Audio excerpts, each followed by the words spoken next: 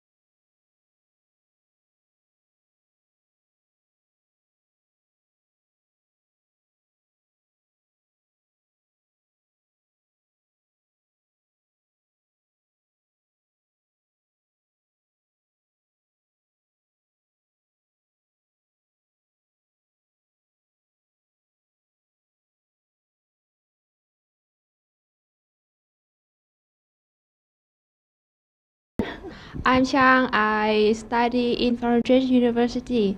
Uh, I, uh, you know many, uh, you know Ho Chi Minh's many name. And uh, when did he use name uh, Nguyễn Ái Quốc? Can you come up here?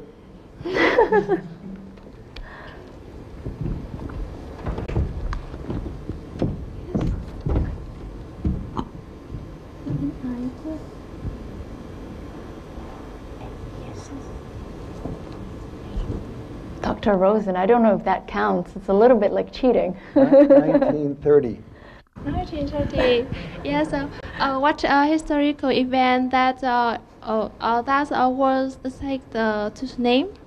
Do you remember? Yeah, so that's when uh, he was in uh, Russia at one of the uh, communist conventions. Yeah. Very good. Uh, thank you. So we have one last question. Hello, I'm Chi from Foreign Trade Universities, and now I have a question for you. The first Vietnamese Declaration of Independence on September 2nd, 1945, quote a line from the U.S. Declaration of Independence. What is that quote? The main quote that I thought was that uh, our Declaration of Independence says that all men are created equal, and Ho Chi Minh changed it to all people are created equal. And by making that small one word change, making that simple change, it had a huge difference in terms of the spirit that he wanted to um, broadcast uh, to the public at that time. So it was one of those talks where you heard him speak and you said that I need to change what I do and I need to dedicate myself to his cause because it's not his cause, it's our cause, and it's not just the Vietnamese cause, but it's a global cause of all people uniting together to provide freedom and independence to everyone, which is still a cause around the world that people are fighting. Wow, your knowledge is really quite amazing. Each time revisiting President Ho Chi Minh's relic site in Vietnam, Dr. Rosen finds new motivation to keep Rice going. Apart from RICE 1 effort, Dr. Rosen and his fellow men are working to develop the Rice 2 project. Accordingly, the remote interaction, consultation, and epidemiology of Rice 2 is working to better integrate Vietnam's rural clinics with urban and regional hospitals using smartphones. And under RICE 3, Rosen said beyond helping the Vietnamese people, he likes bringing Americans to Vietnam and getting them excited about what they can do in other countries. So we've heard of new plans um, that you have for Vietnam about um, RICE 2 and the Rice 3 project. Um, RICE 2 involves diagnosis um, via SMS, is that right? Um, how might this work in Vietnam? So RICE 2 stands for Remote Interactive Consultation and Epidemiology. And it looks at what are the other things to affect the population. So the global incidence or burden of disease, only the 13% of the global burden of disease is surgery. The rest is other health care. So uh, we want to see how we can affect uh, things like the incidence of Yeah. disease. And we want to look at a system where you look at the hubs, such as NHP in Hanoi and the Ministry of Health, and then look at the provincial hospitals, the district hospitals, and then the 10,000 com- communal clinics. And it'd be very valuable that if someone coming to a communal clinic who had a medical problem for a child, instead of taking a child from Sapa and spending 24 hours to get to Hanoi with a child that could be treated in Sapa, hmm. that they could communicate that through to the district, the province, and NHP and get a response back and know what to do. So Yeah. we're trying to decide the simplest system that could be implemented throughout the communes now. and test that out. So SMS is something that is somewhat ubiquitous. Almost everybody has it on their cell phones. Wow, that's amazing. Well, RICE 3 is really about culture and as much as possible getting the Americans to understand the Vietnamese culture.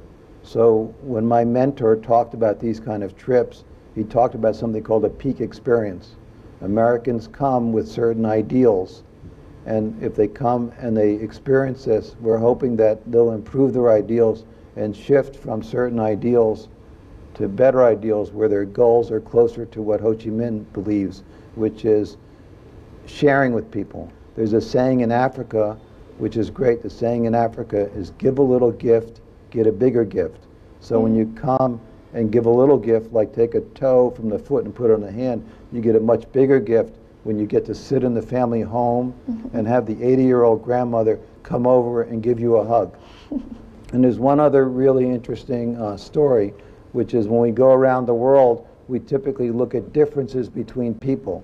And one of the games I play with children when I go on trips is I say to the children, sit down and write down the differences between a monkey and a giraffe. And they write them down like the names of Ho Chi Minh. And they wrote down like 20 names. And then I say to them, well, now write down the similarities between a monkey and a giraffe. And they write down hundreds of similarities.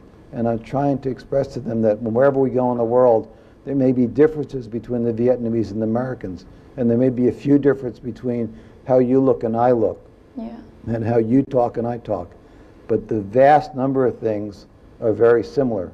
So we're very, very close once we stop looking at the differences and we concentrate on the similarities. Mm-hmm. Even the children that are born with differences, it's more important for the children to realize that just because you're born without fingers, you're still really very much the same as the other kid.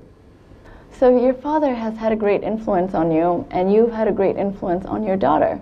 And um, I know she's she's going to be a doctor, and she's planning on coming to Vietnam next year. Can you tell me a little bit more about her plans? Yeah, she's very interested in going around the world and helping people. And she would like to come uh, next year and visit Vietnam and work here. And the first thing she would do when she's here uh, is teach English. And she's trying to decide different ways that she can influence people. One way you can influence people is being a doctor, but the other way that she's very interested in is being a guidance counselor Yeah. because she really likes high school students and she really thinks she has great skills, which I believe she does, to help them pick their future.